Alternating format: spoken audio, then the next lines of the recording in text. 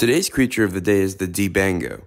It was named after Cameroonian musician Manu Dibango. It was discovered in Italy and lived during the Eocene epoch. It went extinct due to global cooling and a change in ocean currents. Dibango was unique because even as an adult, it retains traits from juvenile Dibangos. Its body had tiny thorns on it as protection from predators, and pigmentation is present on the fossils under ultraviolet light. This suggests that it was more than one single color.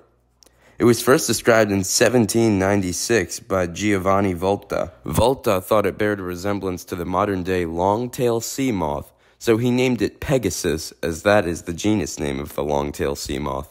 However, most scientists thought it bared almost no resemblance to the long-tailed sea moth, and finally, just this year in 2025, it was renamed to the Dibango.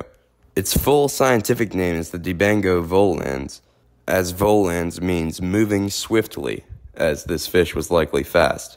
But speaking of this fish, it was only 4 inches long, about the size of a modern bluegill. Its only media appearance that I know of was in the game Jurassic World Evolution 2, but it wasn't an official creature, it was just a mod.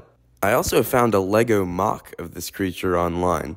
It's not available to buy, but I think there's instructions on how to make one. So, if you want to make your own Lego Dibango, look it up. Wow, a small fish that confused us for almost three centuries. You don't hear that every day.